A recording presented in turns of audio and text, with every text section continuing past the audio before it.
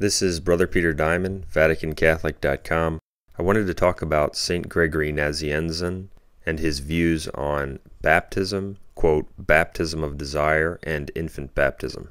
As we quoted in our salvation book, St. Gregory Nazianzen, father and doctor of the Church of the fourth century, clearly and repeatedly rejected the concept of, quote, baptism of desire.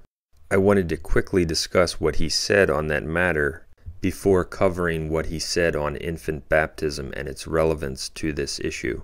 In point number 22 of his oration on holy baptism, dated January 6, 381, St. Gregory says, quote, But then you say, Is not God merciful? And since he knows our thoughts and searches out our desires, will he not take the desire of baptism instead of baptism? You are speaking in riddles if what you mean is that because of God's mercy, the unenlightened is enlightened in his sight, and he is within the kingdom of heaven who merely desires to attain it. As we can hear, St. Gregory could hardly have been more clear in rejecting the concept of baptism of desire. And what's remarkable about this quote is that about half of the defenders of baptism of desire who would write articles in defense of baptism of desire, would argue that St. Gregory Nazianzen did not reject baptism of desire. That's how extraordinarily dishonest they are.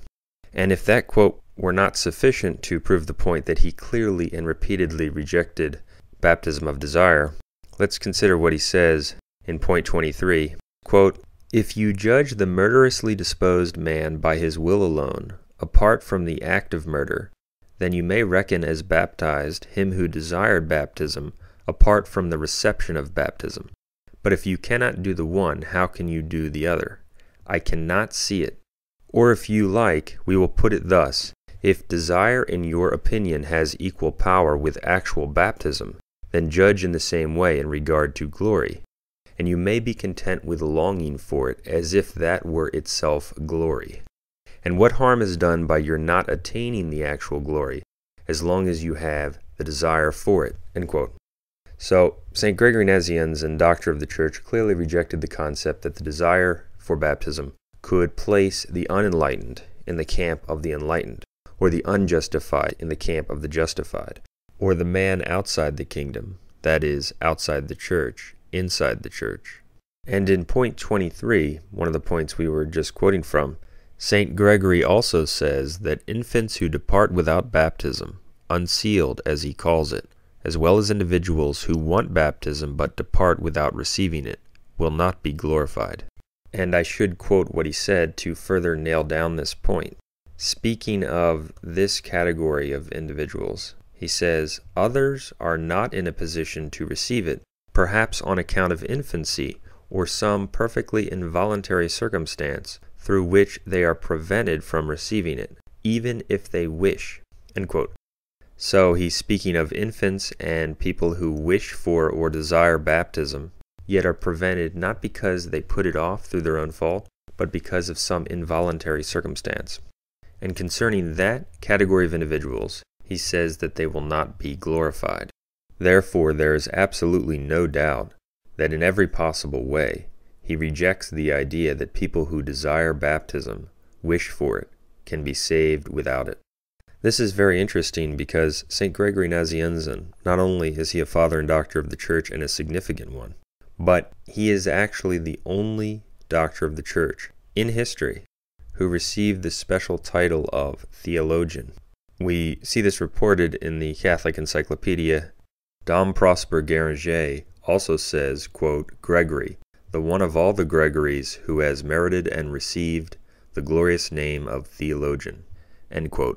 That's very interesting because there are people in the traditional movement who argue that the support for, quote, baptism of desire among more modern theologians compels Catholics to assent to it. That is an utterly flawed argument, which we've discussed and refuted in the past. It was advanced by Anthony Cekada, whose argument is completely refuted in section 19 of our salvation book and in a video on our website. Since his position is false and he cannot defend it, it's not a surprise that Cekada refused our debate challenge.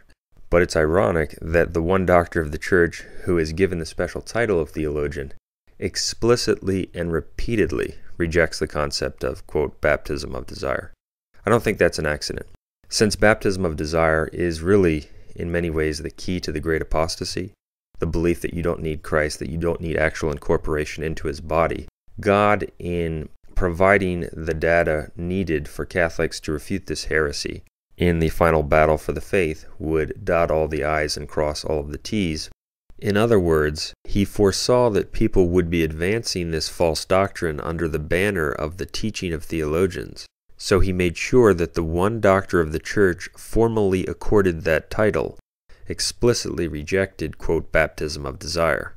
But the fact of the matter is that most of the early church fathers rejected the idea that an unbaptized catechumen could be saved by his desire for baptism. There's something else that's very interesting to consider in this regard. We often hear from baptism of desire defenders that our understanding of these issues should be derived from the mind of the theologians rather than the actual text of the dogmatic pronouncements. In other words, that the teaching of the Church must be found in what the theologians at the time of a dogmatic pronouncement or at the time of a council were thinking, rather than what was actually promulgated. Because they claim we cannot understand or interpret what was promulgated by the council we must learn it from the fallible teaching of the theologians. And that is clearly false. The pronouncements of the magisterium must be our rule, they must be the final word on these issues. But in analyzing their argument that we must get into the mind of theologians, it's very interesting to consider that St. Gregory Nazianzen was the bishop of Constantinople, and he also played a crucial role at the First Council of Constantinople, in the year 381, which is now recognized as the Second Ecumenical Council. And it was in the very same year of the Council of Constantinople, 381, that St. Gregory Nazianzen gave this speech on holy baptism in which he repeatedly rejects, quote, baptism of desire. His role at the Council of Constantinople is very relevant to this because it was at the First Council of Constantinople in 381 that we have the first dogmatic pronouncement of the truth that there's only one baptism for the remission of sins. The Nicene Creed, which is said at traditional Masses, that is actually the Nicene Constantinople Creed. The original creed at the Council of Nicaea is shorter than what is said at Masses today. The creed was amplified or expanded at the First Council of Constantinople. For example, the original Creed of Nicaea ended with a single statement about our belief in the Holy Ghost. The expanded version at the First Council of Constantinople included other statements about the Holy Ghost, as well as statements about the Catholic Church, the resurrection of the dead, and the phrase one baptism for the remission of sins. And even after the First Council of Constantinople, we know that the Filioque clause, and the Son, referring to how the Holy Ghost proceeds from the Father and the Son, was added to what is called the Nicene Creed. The point is that the first time the phrase, one baptism for the remission of sins, was included in the Creed in a council was at the First Council of Constantinople, where St. Gregory Nazianzen was present. And in fact, at one time he presided over the council and was leading the council. So consider this. The bishop who's leading the First Council of Constantinople the council which promulgates the dogmatic definition that there's only one baptism for the remission of sins, in the very same year gives a speech in which he repeatedly rejects baptism of desire. And in fact, in this oration we quoted from, Gregory is not just rejecting baptism of desire, he's mocking it. He's saying that the idea that desire can replace baptism or bring the unenlightened, the unjustified, into the camp of the justified doesn't make any sense. And so, in the very same year he gives that talk, he also is present and playing a key role at a council which promulgates the dogmatic truth that there's only one baptism for the remission of sins. Therefore, if we want to adopt the premise of the quote baptism of desire defenders, that we have to enter the mind of theologians to determine the true meaning of the promulgated text, well, the mind of Gregory Nazianzen, who played a role in the promulgated definition, was that one baptism excludes baptism of desire. Therefore, the actual intention, according to this reasoning, of the fathers of the First Council of Constantinople must be considered to be that there's only one baptism to the exclusion of any notion of baptism of desire. And of course, that would fit with the later dogmatic definition of the Council of Vienne in the 14th century, which declared that all Catholics must confess that this one baptism for the remission of sins is of water. So I consider that an interesting point in refutation of the defenders of baptism of desire who falsely argue that rather than being guided by the dogmatic pronouncements, we must enter the mind of the theologians. And that's why all of the arguments they advance, since they're all rooted in faith in man, are all refuted by the word of truth, the dogmatic pronouncements, and a more careful consideration of the facts. Something else that's very interesting is the fact that the Roman Breviary says this for May 9th concerning St. Gregory Nazianzen. Quote, In the opinion of learned and holy men, there is nothing to be found in his writings which is not conformable to true piety and Catholic faith, or which anyone could reasonably call in question. That's a devastating rebuttal to baptism of desire defenders who sometimes make arguments from the Roman breviary. And we've refuted those in the past. For example, one heretical defender of baptism of desire who advances the typically refuted objections, he said some years ago Quote, and of course, theologians consider that it is impossible that there should be theological error in the breviary. That was from John Daly. Well, the heretic doesn't realize that advancing that argument destroys his own position on, quote, baptism of desire. That's because the Roman breviary says that the man who clearly and repeatedly rejected baptism of desire, in the opinion of holy men, there is nothing in his writing which is not conformable to Catholic faith or which could reasonably be called into question. It's another example of how whatever argument is advanced for this false doctrine is demolished by a more careful consideration of the facts. That point, by the way, was made in a recent discussion with the heretical so called priest James Gordon of the Fraternity of St. Peter, who was defending baptism of desire. And all of these individuals who defend baptism of desire in our day also believe that souls can be saved in false religions, which is a heresy condemned by the Church. In addition to Gregory's very clear and repeated rejection of baptism of desire, I wanted to discuss an interesting statement he made about infant baptism. But before I get to that, just think of the dishonesty of the defenders of baptism of desire. Many of them have seen this quote from St. Gregory's oration, and they will still say that the fathers were not only unanimous in favor of baptism of desire, a total lie, but they will say that St. Gregory himself favored baptism of desire. For example, Father Francois Laisney of the Society of St. Pius X wrote an appalling book called Is Feeneyism Catholic, which I discuss at length in my salvation book and frankly tear to shreds. He says about St. Gregory's quote that this is from page 67 of his book one sees here the very principle of baptism of desire. On page 65, he also says, quote, Far from being against, meaning baptism of desire, he, Gregory, rather sets the very principles of baptism of desire. It's amazing. They're like spiritual zombies. In fact, this Father Laisney said in the same book that the Council of Florence, quote, mentions baptism of desire. A total lie. Mortal sin. He just stated it, even though it's completely untrue. That book has been published by the Society of St. Pius X. It's been sold in who knows how many of their bookstores, and it's probably still sold in many of their bookstores. For those who knowingly promote it, mortal sin, mortal sin, mortal sin. In dealing with these people, you're dealing with devils. That's what they are, devils. There was another heretic who wrote something in favor of, quote, baptism of desire that contained so many lies and false arguments that one could write a whole book breaking them all down. He also refused a debate challenge, of course. And, for example, to just give one of probably a hundred you could give, he's talking about a quote from St. John Chrysostom, in which St. John Chrysostom clearly says that unbaptized catechumens cannot be saved if they are not joined to the faithful by baptism. And his conclusion is that the quote favors the idea of baptism of desire. You're just dealing with dark liars. That's what they are instruments of the enemy who are used to justify their own faithlessness and that of others. Now, in regard to infant baptism, in the same oration, Gregory says, quote, What have you to say about those who are still children, and conscious neither of the loss nor of the grace? Are we to baptize them too? Certainly, if any danger presses, for it is better that they should be unconsciously sanctified than that they should depart unsealed and uninitiated. This quote is interesting because, first, he clearly affirms his belief that infants cannot be saved without baptism, and he does this also in another part of the oration, in which he says that people who die in infancy without baptism will not be glorified or saved.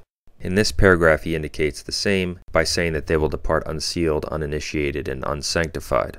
But even though he believes infants cannot be saved without water baptism, is he insistent upon baptizing infants immediately after birth? No, he's not. He says in this quote that if any danger presses, they should be baptized right away. But in the next paragraph, he goes on to say that in the case of others, meaning other infants who are not in danger of death, they should be baptized at about the end of the third year. It's true that various practices and customs arose in different parts of the early church, according to which the baptism of infants was sometimes delayed longer than it should have been. The apostolic tradition, as we learn from the Council of Florence and other examples in tradition, is to baptize infants as soon as possible after birth. But in certain parts and at certain times of the early church, the baptism of infants was delayed longer than it should have been. This is also true of the baptism of adults. And the reason this quote is relevant to our topic is because it shows that while he clearly did not believe infants could be saved without water baptism, he was not insistent upon baptizing all infants right away. That shows us that just because there is a delay in baptizing an infant, or a delay in baptizing an adult catechumen, it is not indicative of a belief that those people can be saved without water baptism, and this is a clear example of that. He did not believe infants could be saved without water baptism, yet, for those who are not in any danger, he recommended waiting until the end of the third year.